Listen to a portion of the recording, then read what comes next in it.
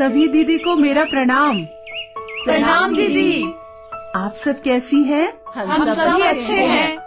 दीदी क्या आप सभी को मीना याद है? हाँ दीदी वही मीना जिसने अपना प्रसव अस्पताल में करवाया था। और जिसने जन्म के तुरंत बाद अपने बच्चे को अपना पीला गाढ़ा दूध भी पिलाया था। और जिसने छह माह तक अपने बच्चे को सिर्फ़ और सिर्फ़ अपना ही दूध पिलाया था। बाहर का एक बूंद पानी भी नहीं दिया था। वाह दीदी, आप लोगों को तो सभी बातें बहुत अच्छे से याद है। आइए, अब हम लोग गुणवंती दीदी, जो मीना की सास भी है, से जानते हैं कि छह माह पूरा होने पर क्या मीना ने अपनी बच्ची को अपने दूध के अलावा भी कुछ खिलाया? हाँ दीदी जैसा कि आपने समझाया था मीना ने छह माह पूरा होते ही खुशबू को अपने दूध के साथ साथ पूरक आहार भी खिलाना शुरू कर दिया। पूरक आहार? वो क्या होता है दीदी? बच्चे का छह माह पूरा होते ही माँ के दूध के साथ साथ ऊपर से खिलाए जाने वाले भोजन को पूरक आहार कहा जाता है।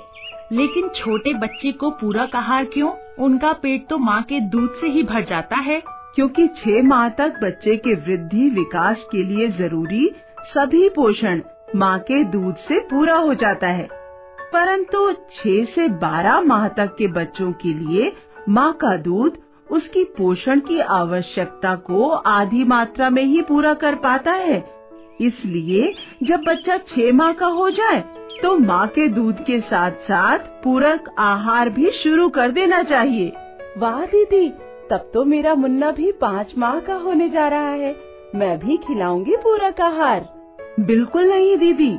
पूरक आहार छह माह पूरा होने पर ही शुरू करना चाहिए। समय से पहले पूरक आहार देने से बच्चों को बार बार दस्त हो सकता है और बीमार होने की संभावना भी बढ़ जाती है। समय से पूरक आहार शुरू करने से बच्चे का शारीरिक और मानसिक विकास सही रहता है और आगे चलकर बच्चा तंदुरुस्त और पढ़ाई लिखाई में भी तेज रहता है। दीदी अब आप हमें ये बताएँ कि पूरक आहार कैसा होना चाहिए।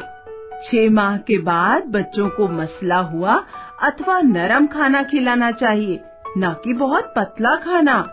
बच्चे का भोजन इतना गाढ़ा होना चाहिए कि वो आसानी से चम्मच में ठहर सके। लेकिन दीदी छोटे बच्चे को कितना खाना खिलाना चाहिए ये भी बताएँ।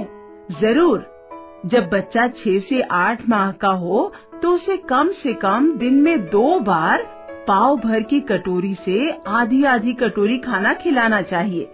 जब बच्चा नौ से ग्यारह माह का हो तो उसे दिन में कम से कम तीन बार आधी आधी कटोरी खाना खिलाना चाहिए। जब बच्चा 12 से 23 माह का हो तो दिन में कम से कम तीन बार पूरी कटोरी भरकर खाना खिलाना चाहिए। और हाँ दीदी, एक बात ज़रूर ध्यान रखें कि पूरक आहार के साथ साथ कम से कम दो वर्ष तक माँ का दूध पिलाना जारी रखना चाहिए। बच्चों के खाने में हमें क्या क्या शामिल करना चाहिए, दीदी? बच्चों के रोज के खाने में इन सात में से कम से कम चार खाद्य समूहों को ज़रूर शामिल करना चाहिए। पहला समूह, अनाज एवं कंदमूल जैसे चावल गेहूँ, ज्वार, बाजरा, मक्का, आलू। दूसरा समूह। सभी प्रकार के दाल, मेवे एवं फलियाँ, जैसे कि अरहर, मूंग, मसूर, राजमा, मूंगफली, सोयाबीन, सेम, बादाम। तीसरा समूह। मांस और मछली।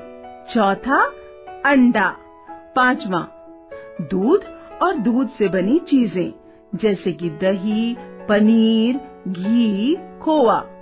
छठा, हरी पत्तेदार साग सब्ज़ियाँ और लाल पीले फल सब्ज़ियाँ जैसे आम, पपीता, गाजर, तरबूज, कोहड़ा, टमाटर। और सातवां, अन्य सभी मौसमी फल एवं सब्ज़ियाँ। इन सभी समूहों में से कम से कम चार समूहों का खाना बच्चों को ज़रूर खिलाना चाहिए। पर दीदी रोज कम से कम चार समूह का खाना कैसे खिलाएँगे? क्या बच्चा उतना खा पाएगा? बहुत आसान है दीदी।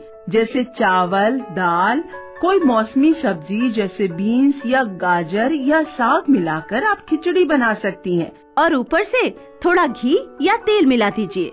हो गए ना चार समूह। और आप दूध आटा केला गुड़ और घी मिलाकर भी बच्चों के लिए मीठी पूरी बना सकती हैं। वाह दीदी ये तो बहुत आसान है। ये तो बहुत आसानी से बनाकर हम अपने बच्चों को खिला सकते हैं। अच्छा दीदी बच्चों को पूरा आहार खिलाते समय और कौन सी बातों का ध्यान रखना चाहिए? बच्चों का खाना पकाने और खिलाने से पहले माँ को अपना हाथ साबुन से अच्छे से साफ़ करना चाहिए। खाना खिलाने से पहले बच्चे का भी हाथ साबुन से अच्छे से साफ़ करना चाहिए। बच्चे को धैर्य पूर्वक खाना खिलाना चाहिए और अनावश्यक बाहरी आहार नहीं देना चाहिए। यदि बच्चा बीमार है और उसे भूख नहीं लग रही है तो उसे बार बार थोड़ी थोड़ी मात्रा में उसका मनपसंद खाना देना चाहिए और स्तनपान जारी रखना चाहिए। ध्यान रहे दीदी, खाना खाने से इनकार करना कुपोषण की ओर पहला कदम है। अगर इस स्थिति में सुधार न हो तो तुरंत आशा एएनएम या डॉक्टर से संपर्क करना चाहिए। तो दीदी पूरक आहार के बारे में आज आपने कौन कौन सी मुख्य बातें सीखी? छह माह पूरा होते ही बच्चे को पूरक आहार देना शुरू करना चाहिए। और साथ ही साथ कम से कम दो वर्ष तक माँ का दूध भी जारी रखना चाहिए। बच्चों को दिन भर में सात में से कम से कम चार खाद्य समूहों से बना खाना खिलाना चाहिए। बहुत अच्छा दीदी। आप लोगों ने सभी बातों को बहुत अच्छे से समझा। आशा करती हूँ कि आप सभी इन बातों का पालन करके अपने तथा अपने आसपास के बच्चों को भी स्वस्थ रहने में मदद करेंगी। ज़रूर दीदी। इन बातों को हम अपने आसपास की दीदियों को भी ज़रूर बताएँगे। धन्यवाद दीदी। सभी दीदियों को धन्यवाद।